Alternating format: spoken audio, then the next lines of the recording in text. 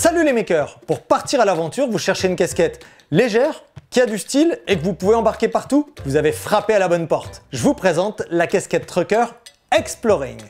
C'est LA casquette que les travailleurs américains portaient dans les années 70. Avec le temps, ce modèle est devenu l'un des plus tendances. Pour un look streetwear décontracté, c'est LA casquette qu'il vous faut.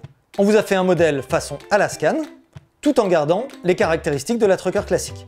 Elle est fabriquée en coton, une matière douce et agréable à porter. Le filet est en polyester.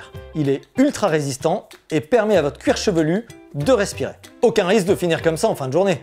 Vous avez même une doublure qui empêche la transpiration de se déposer sur la casquette. Notre petite touche personnelle, c'est le patch en cuir Alaskan Maker.